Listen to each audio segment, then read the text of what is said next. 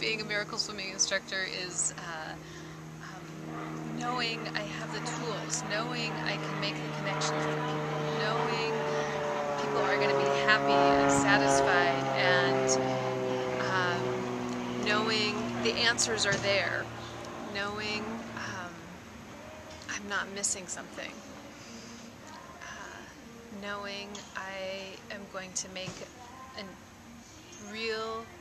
significant lasting impact for people and people will be safe and happy and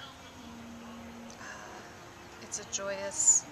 process and an honor to be a part of something you want to do over and over again every time you show up.